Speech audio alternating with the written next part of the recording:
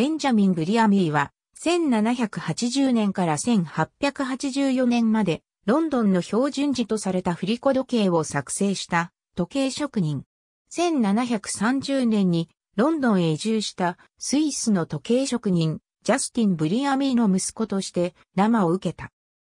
父ジャスティンは、ロンドンのペルメルではよく知られた時計職人、ベンジャミン・グレーの同僚となり、その娘メアリーとの間に授かったのが、ベンジャミン・ブリアミーである。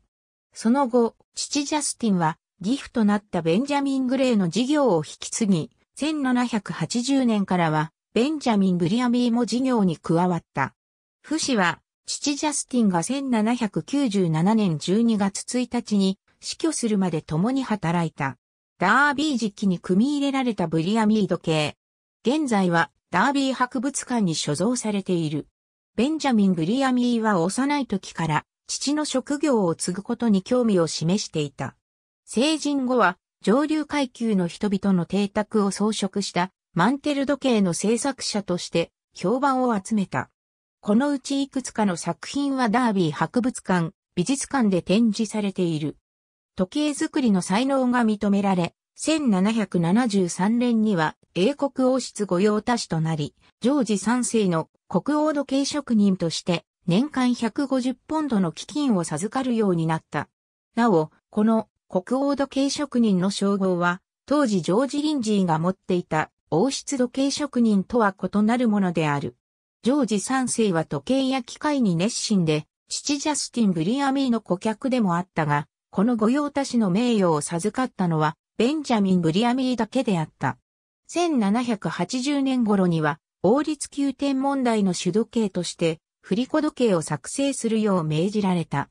天文台とブリアミー時計は1884年にグリニッジ天文台がその役を引き継ぐまで、本書四五線及び、ロンドン標準時とされた。1780年に生まれたベンジャミン・ルイス・ブリアミーは、ブリアミー家として最後の時計職人となり、以降の子孫が家業を継ぐことはなかった。なお、ベンジャミン・ルイス・ブリアミーは、建築家として名を残した。ブリアミー時計は、とてつもなく高価で、当時の技術の頂点とされた。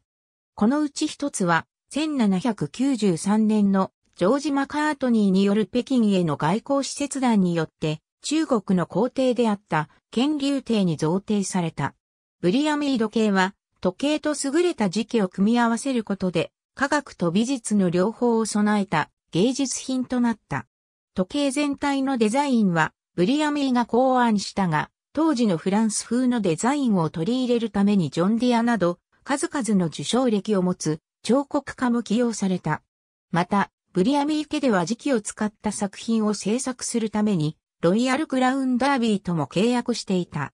このほか、多くの時計製造業者や熟練した職人と契約し、ブリアミーが直接監督するのは、販売前の最終調整段階のみであった。ありがとうございます。